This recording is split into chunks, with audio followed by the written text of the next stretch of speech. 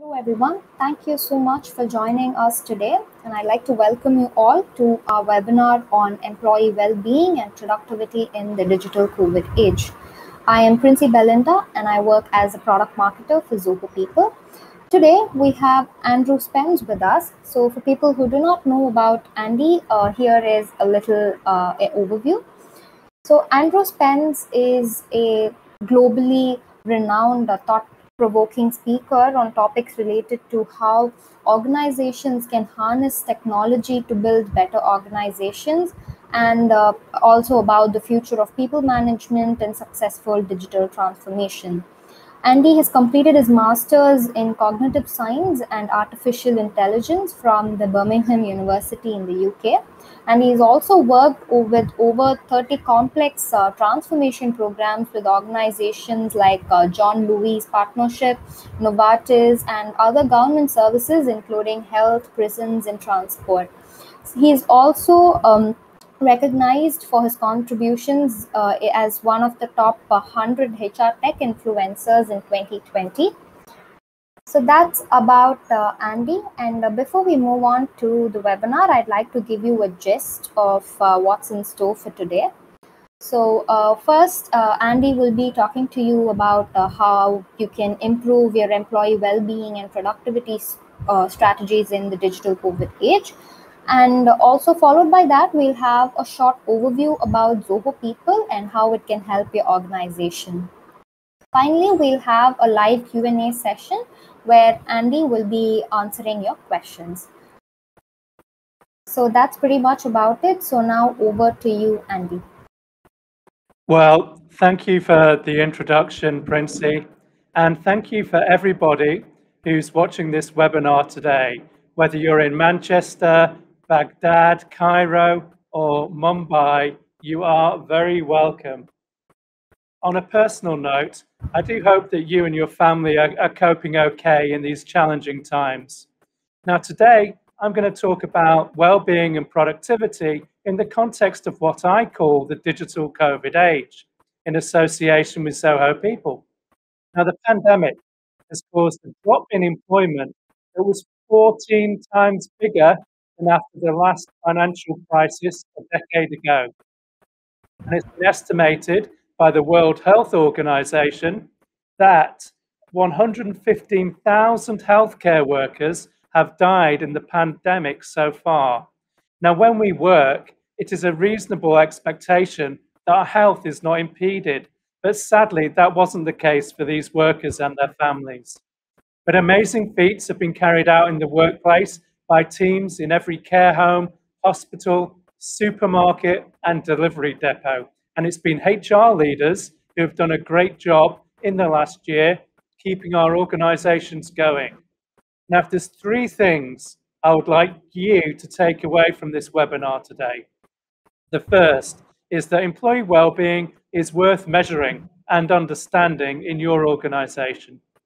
The second is the, the approach to monitoring and improving employee well-being is similar to other workforce goals. You need a well-tuned workforce measurement engine, and you also need to take an holistic approach.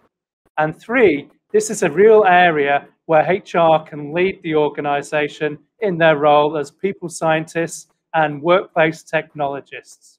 Now, you might see on the slide cover here, this is a photo that I took near where I live on the south coast of England. So when I'm not giving webinars or advising clients, I like to walk by the sea. And personally, this gives me uh, a positive sense of well-being. A little bit about me. I've been lucky to see some great ways of working where teams of people are empowered to achieve wonderful things. Now, although we're talking about well-being, I am not a doctor but I have healed a few organizations with life threatening diseases. From the pharmaceutical company, which interviewed each candidate 12 times, to the London Psychiatric Hospital, where nurses used to deliver their leave requests in person on paper forms, to the Bangalore Service Centre that had no customers. And we're talking about well being, but I'm not going to give you the secrets to a happy and fulfilling life. I'm sorry. I know many attendees today are from India, where four major religions originated. So there might be more luck there. And I'm not going to tell you that the secret to well-being is going for a nice walk by the beach, um, because that won't solve everyone's problems either, each to their own. Now, my passion is to make work better, much better. And I try and do this through my research and writing on organizational strategy, what I call the new infrastructure of work, um, and people analytics. And I share this for free on my Workforce Futurist newsletter, which you can subscribe to. Now, the questions for today's webinar. Questions drive all my work, as you can imagine. So, why is employee well-being important? What is employee well-being and how is it me measured? How are employers using technology to support well-being? Here's a big question. Does increased well-being actually increase productivity? And what can HR do to improve well-being?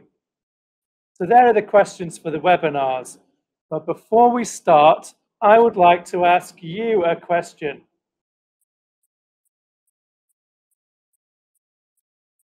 Now, if you look at your screens today, there is a poll that I would like you to answer with your first reaction. So today, how are you feeling today? Having a great day? Do you feel good? Or are some of you ready for bed already?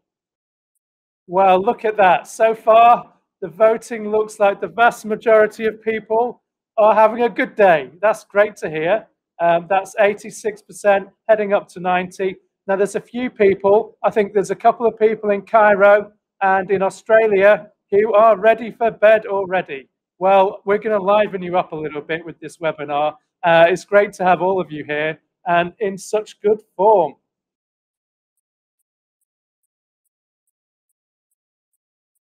So, my second question, now we've warmed up, is What is the most important reason to care about employee well-being in your organization? I'd like you to, to give your, your gut reaction to this. The first one, A, duty of care. You know, it's the right thing to do as employers. Or B, ultimately to improve productivity, the bottom line.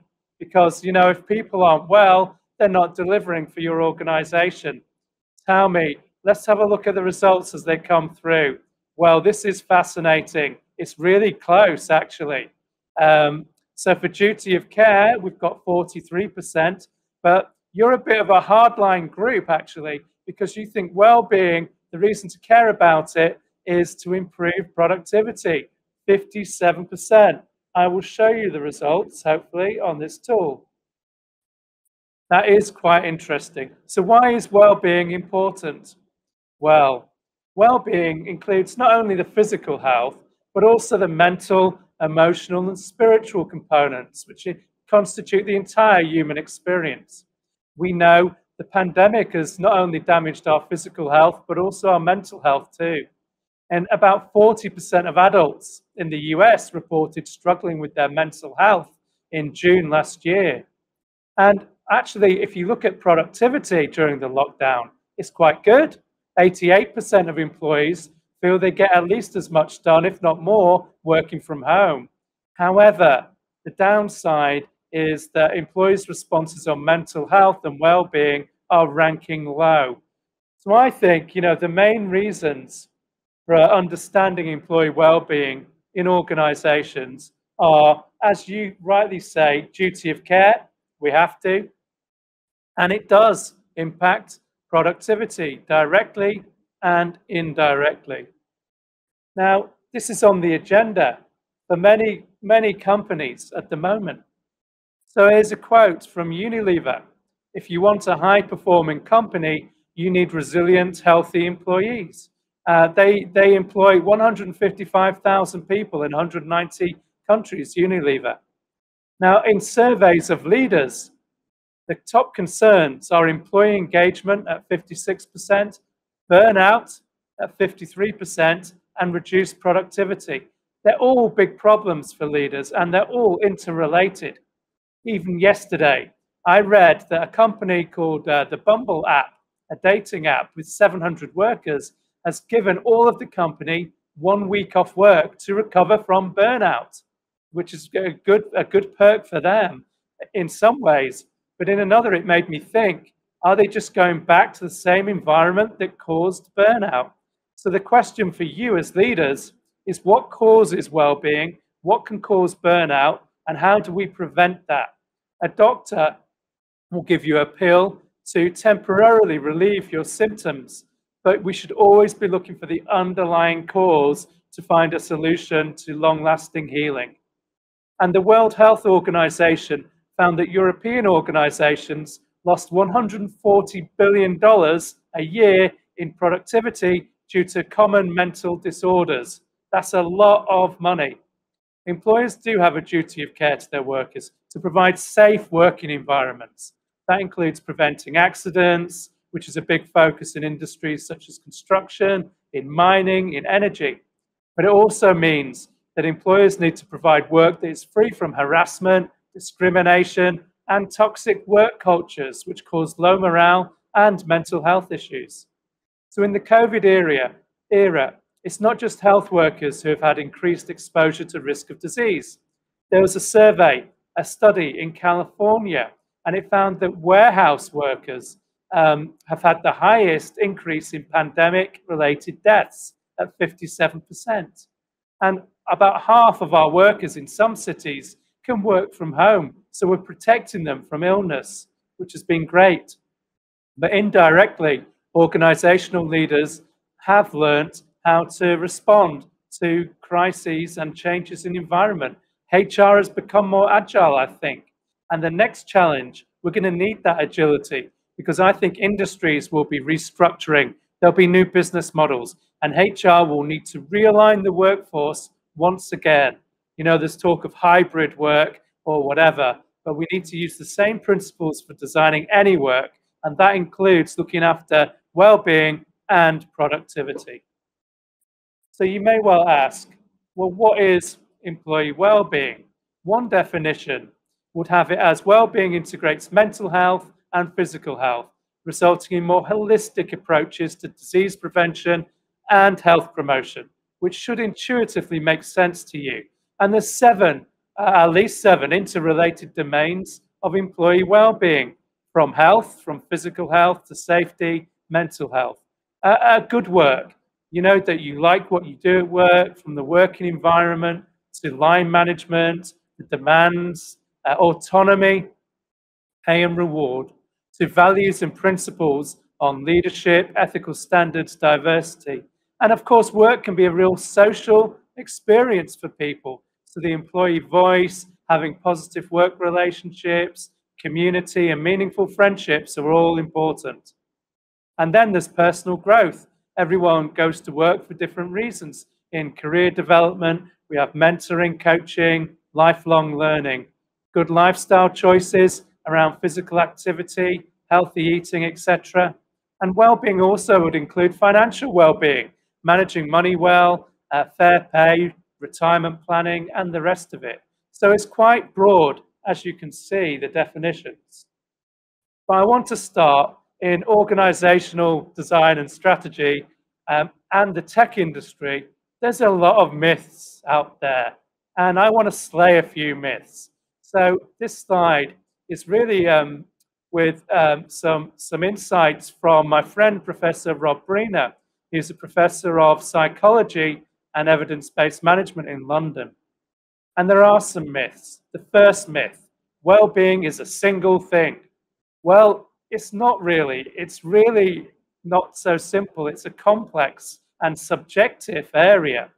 And for scientists, it's important to have robust definitions and so you can home in on the specific problem you're trying to solve. The second myth, well, more well-being is always better. We always like to think if productivity is good, we want more of it. If profits are good, we want more of it. If health is good, we want more of it.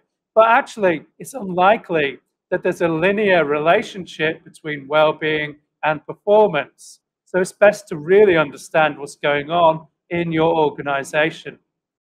The third myth work conditions necessarily have a large impact on well-being. That's interesting because when you turn up at work, what you're bringing is, is your whole person, your health, your personality, your relationships, where you live, the community you live in, your wealth, all of these things contribute to how you're feeling. And so that's what we bring to work. So that makes interventions that we make in the workplace a little bit tricky. And the fourth myth feeling good is good and feeling bad is bad.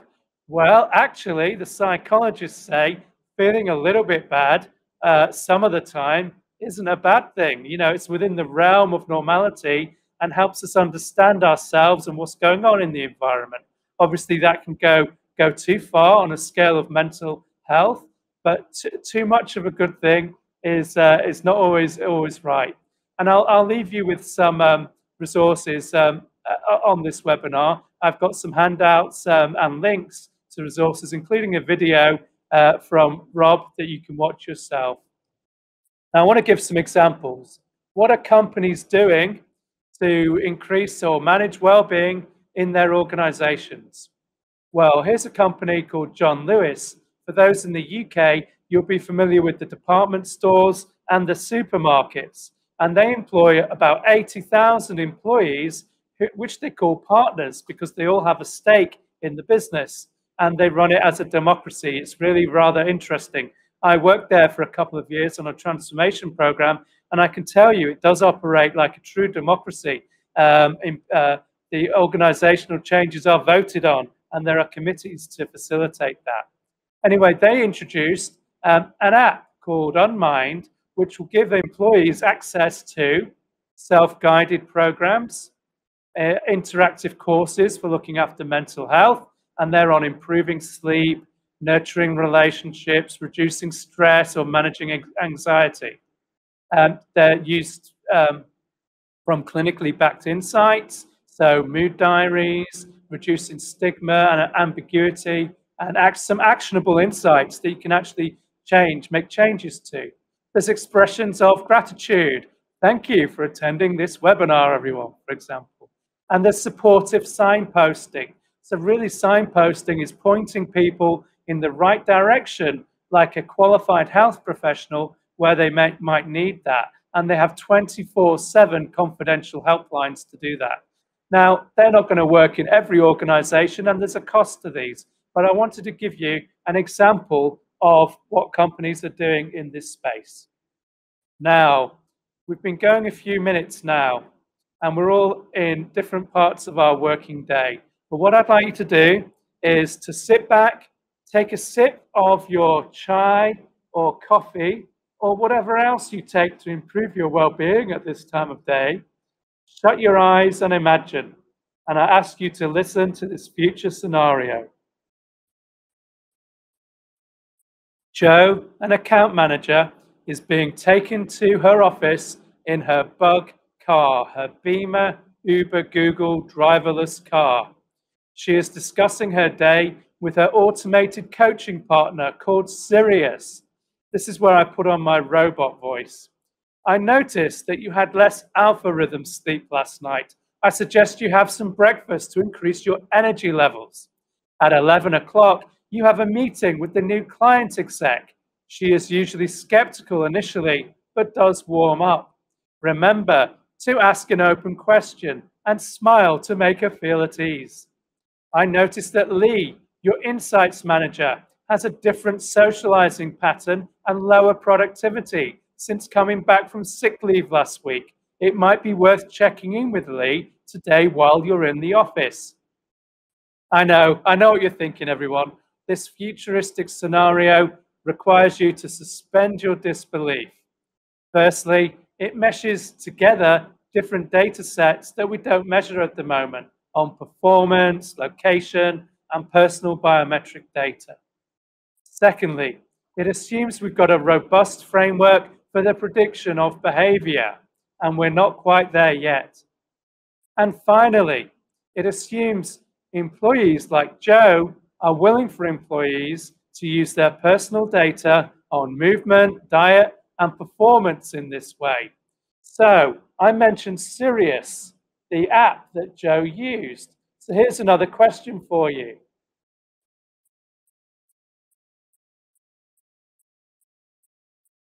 If you were offered the Sirius app by your boss, would you want to use it?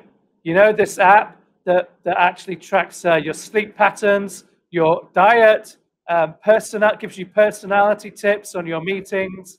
Um, would you like to? Would you like to use that if it's offered to your boss? So answer A, yes. Where can I sign up? Or no, no chance. I don't think I would trust my boss with that information, and nor would my employees. This would be quite an interesting one. How many of you would like to have this app if it existed? I'm not offering it to you, by the way. I don't think it exists. So while, while you're voting, let me tell you a story and um, while you vote.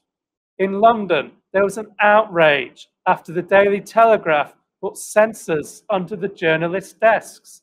So there's a lesson learned here. Always ask permission from employees to use their data, especially when your employees are journalists who tell the world. Um, and in the digital COVID era, millions of employees are working from home. There's reports of employers using surveillance to recreate the oversight that we have in the office at home. Now, it's important uh, for everyone's sense of autonomy and dignity and mental health that home remains a private space and they're trusted to do their work. Um, another example, the workforce tech industry has patents filed that gives wellness recommendations based on analysis of your emails and your conferencing platforms like Zoom or this. So, for example, it might tell you, Andy, your email to Princey sounded very harsh, um, or you interrupt Amy more than average on Zoom calls. So, these are kind of recommendations. Watch out for these tools. Um, and if you're in a position to use them, use your influence to make sure they're used properly and ethically.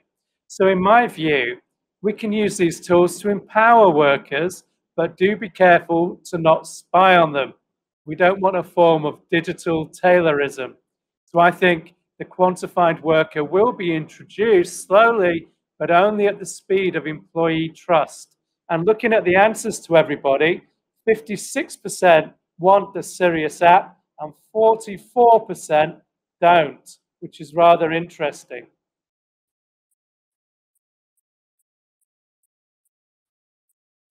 So, how does employee well-being relate to workforce metrics such as productivity? So here we're going into the into the numbers a little bit, into the science. Um, so um, in discussions around improving productivity, the impact on sickness absence and presenteeism is important. For example, if an employee is not able to work or is working but underperforming because they have illness or health issues, then this is obviously going to impact productivity. Um, so there are relationships between health measures and productivity. Let me tell you about a study from the London Underground, the, the Tube as it's known. They found workers with obesity take an average of three sick days more every year than those of normal weight. Now, with this information, as people scientists, what do we do? In people analytics, we've got to be very careful of the so what uh, question. So we find out that obese workers might be less productive due to sickness absence. What do we do about it? Well, we need to empower workers to be healthier. Or do we hire people who are not obese? Well, I think this would be discriminatory and unethical. And I think we'll leave this uh, ethical discussion for now. Um, Gartner have cited research that looks at five different components of wellness.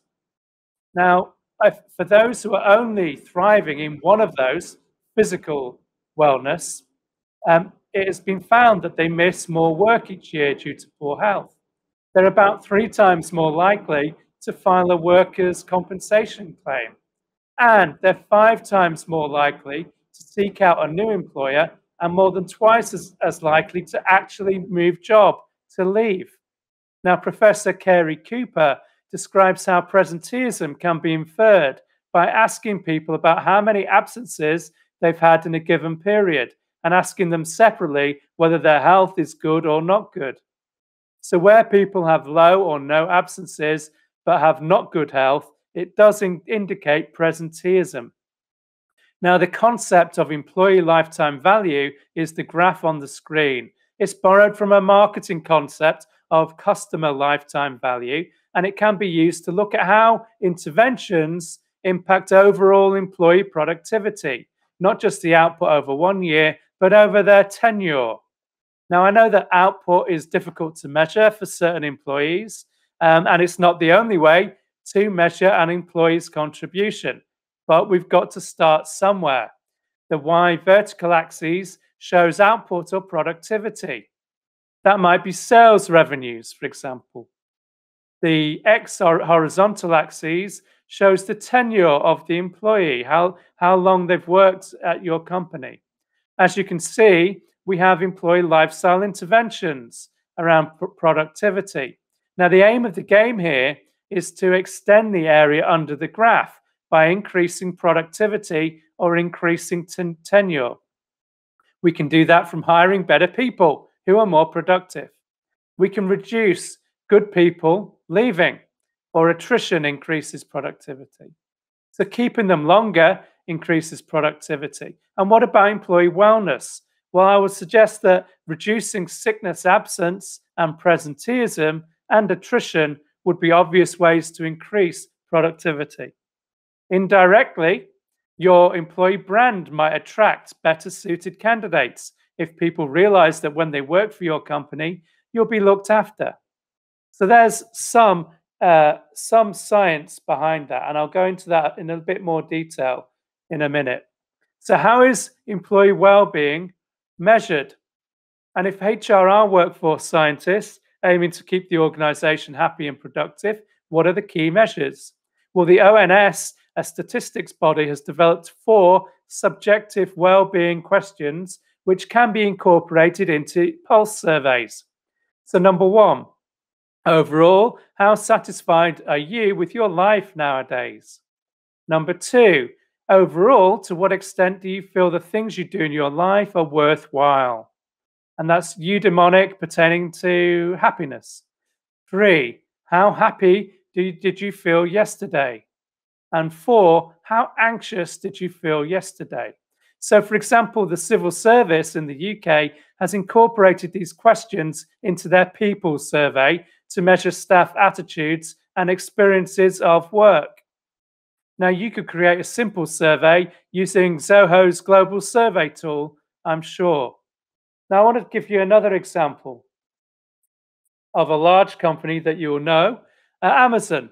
I mean, Amazon, people go on about the robotics they use in their logistics warehouses but they do employ 1.3 million around the world. And they've rolled out an app called My Strength. So this app is available to US employees, but their families and their households as part of a benefits package.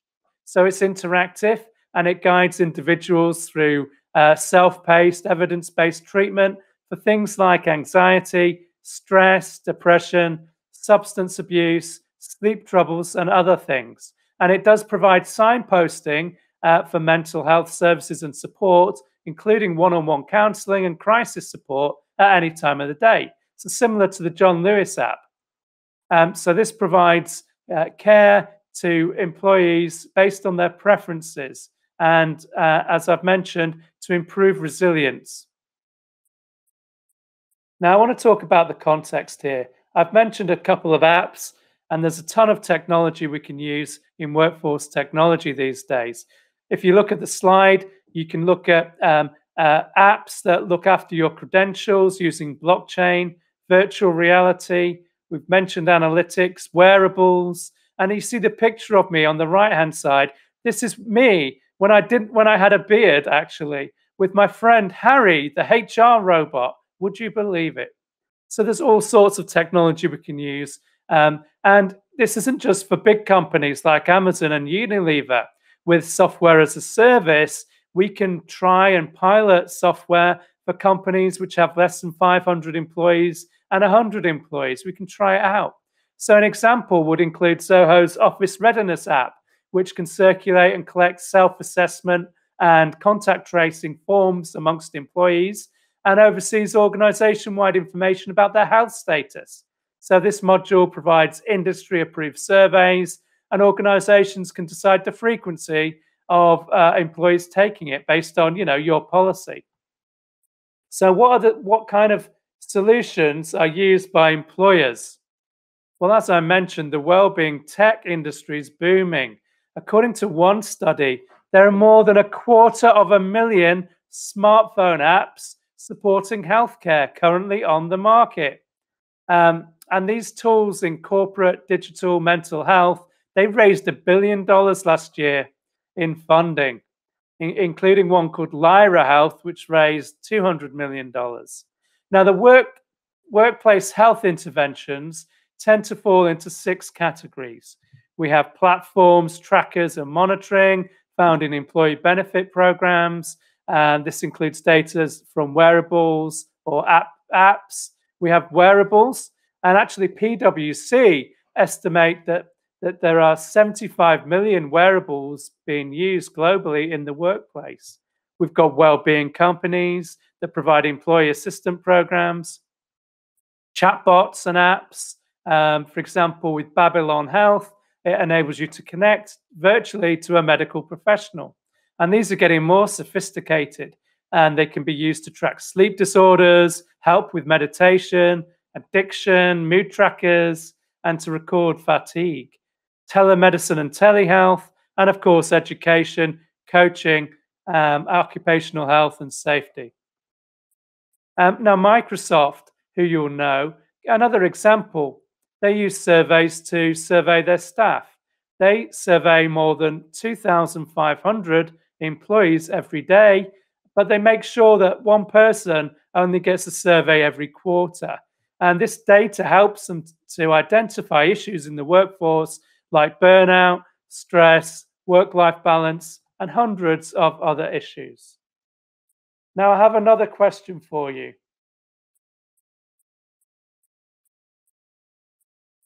In your view, does improved employee well-being lead to improved productivity? If your gut reaction, please just answer one. One is A, surely yes. Yes, employee well-being surely leads to improving productivity. B, I'm a bit more skeptical. Not really. And C, Andy, I've got no idea about this question. What's your gut reaction to this? Well, it looks like the vast majority of you have given the response that yes, employee well-being leads to improved productivity. That is based on your experience and knowledge. 88, 90%. That is interesting. So let us look at the evidence from the scientific community and other analysts. Does employee well-being drive productivity? Show me the evidence. Intuitively, being happy and healthy would seem to boost the bottom line. But for the scientists, finding causal links between employee engagement and productivity are harder to establish. In HR, there's a long debating history of, of, of looking for evidence that employee engagement leads to higher productivity. It's difficult to find good evidence, good quality evidence, and academics will lock horns on debates around correlation versus causation. So, on the one hand, I will provide some evidence from Gallup. Gallup conducted a meta analysis of 339 studies, including well-being and productivity, over nearly 2 million employees in 80,000 business units from 230 organizations in 49 industries in 73 countries. It sounds like they asked everybody we know. Now, they looked at four business KPIs that are important for business and their relationship with employee satisfaction. Here is what they found.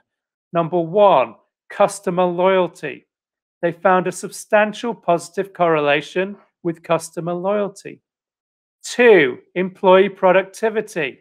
They found that there was a correlation with productivity, which is positive and strong.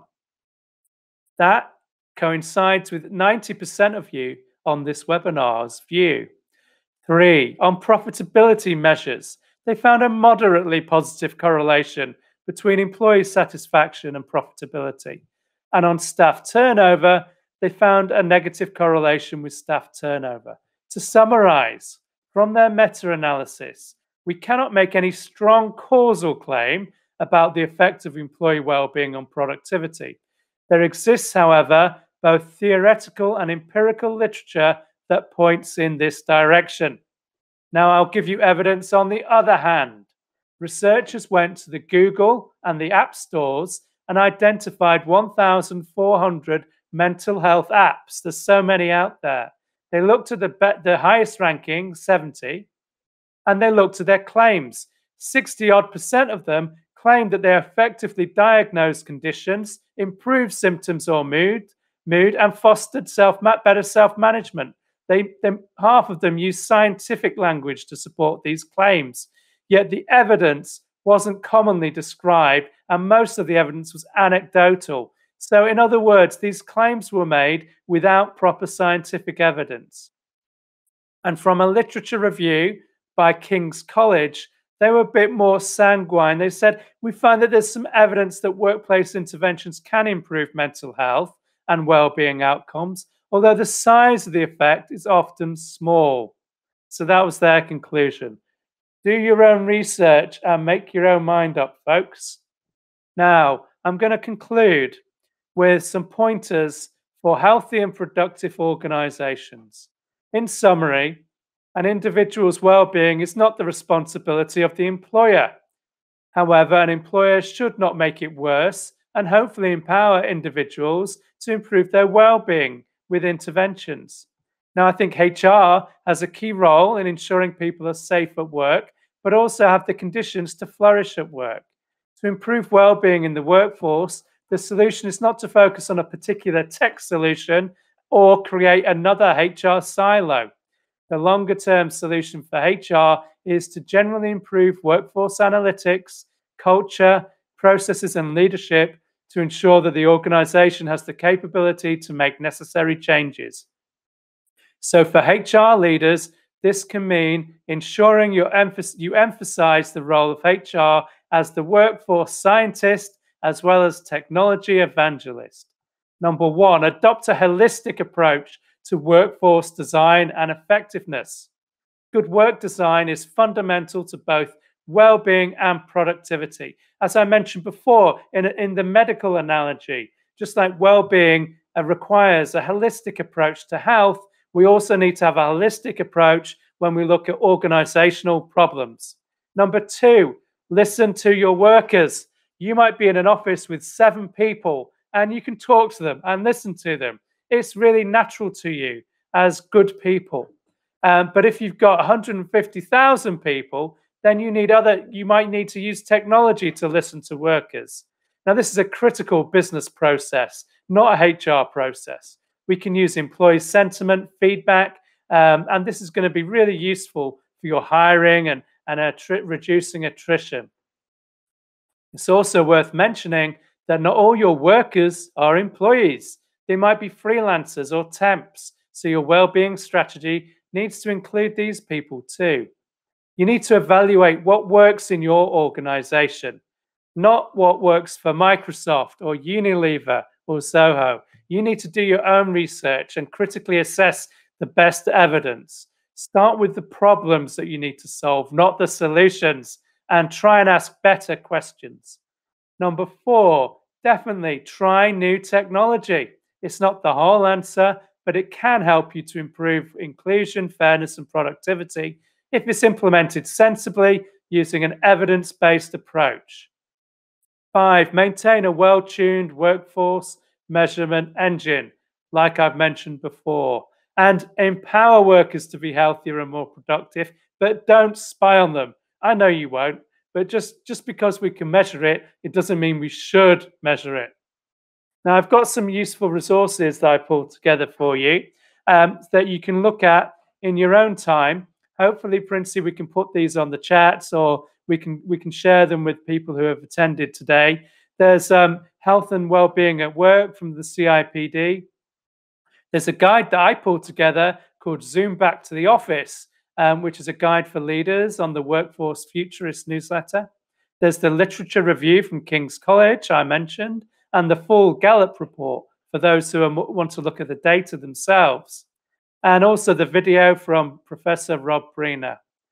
Now, that concludes uh, my session on, on well-being and productivity. Just to summarize, there is a compelling moral case for improving employee well-being as the right thing to do. And the pandemic has really brought this home for us. But there's also a clear business case for improving the bottom line. So, as I said at the beginning, three things I want you to take away from this webinar. One, employee well-being is worth measuring and understanding in your organization. Two, the approach to monitoring and improving employee well-being is similar to other workforce goals. Three, this is an area where HR can take a real lead as people scientists and technologists. So good luck, and I hope you and your family and organization stay healthy. Keep in touch with me on Twitter or subscribing to Workforce Futurist or email. And thanks again to Princey and Zoho people. Now, I do hope we have some time for some questions. So, Princey, did we have any questions? Hi, everyone. Feel free to drop your questions on the questions tab on the left panel or in the chat box. So uh, meanwhile, we will uh, just have a brief overview of Zoho people and uh, we'll still have the uh, a few minutes for question and answers. So for people who do not know what Zoho People is, and uh, we have uh, two different products. So one is uh, Zoho People, which is a cloud-based HR uh, software. And Zoho People Plus is a combination of six different Zoho applications coming together, which includes Zoho Recruit, People, Expense, and communication apps like Zoho Connect and Zoho Cliq. So uh, moving forward into uh, how Zoho people can help you with your HR uh, activities, as uh, Andrew, Andrew was telling, we have a health check form, a survey which will help an employees um, register their uh, uh, their health every day, and this in turn, let's just say if someone's feeling sick or if their family members feeling sick, you can enable automatic email notifications to the right person in charge within your organization. So um, whether you have to uh, provide them with any kind of help, you can always do that and it will notify the right person immediately. And uh, productivity is all about how you manage work and how you manage your teams, right? So Zoho People comes in with a built-in integration with Zoho Cliq.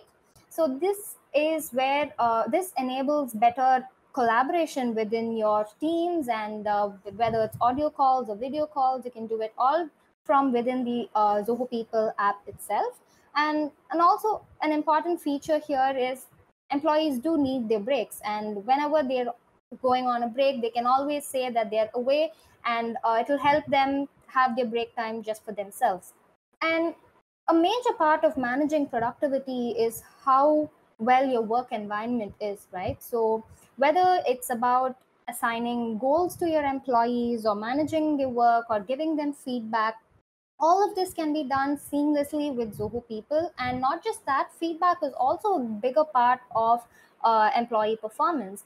So with uh, Zoho People, you'll be able to give instant feedbacks and you can also have self-appraisals as part of your review process. And we also do have a learning and uh, development system. So that's a space where you can create customized learning plans for uh, your employees or their specific uh, departments. It comes with both self-paced and instructor-led courses. So you can have both um, like, just like how we're doing it now you can have virtual sessions. We uh, it comes with an inbuilt integration with zoho meeting. And course feedback and discussions and everything that is needed to improve your courses is uh, is also done seamlessly with Zoho people.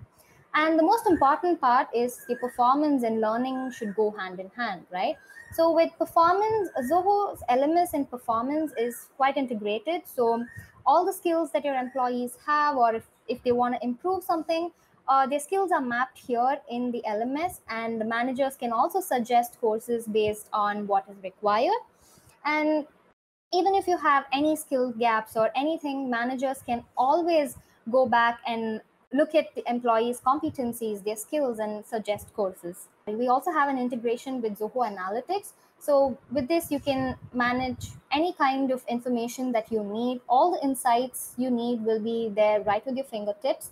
And whether it's your employee performance report or uh, it's your employee growth report, your attrition reports, all of this can be available. And you can also go ahead and create your monthly or uh, based on your requirements, you can go ahead and create your own reports too.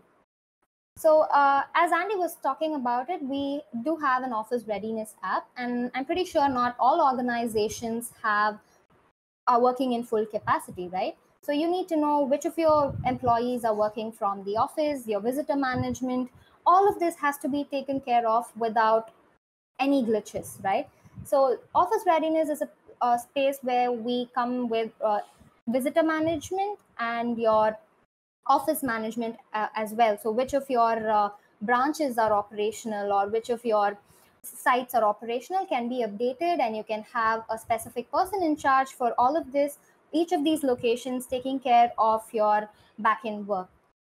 So that's pretty much about Zoho People. So if you have any questions, please drop them in the questions tab. You can visit us at zoho.com slash people and you can write to us at webinars at zohopeople.com. We uh, also have a HR community where HR professionals from different uh, uh, from around the globe come together and share their experiences. Thank you, Andrew. Thank you so much for the session today. I, I really hope uh, everyone uh, here at, who attended the session found it useful. And uh, thank you, everyone, for joining us. And um, it was a wonderful session, very interactive. And um, so we'll be signing off for now, and we hope to see you in another webinar. Thank you. Bye, everyone.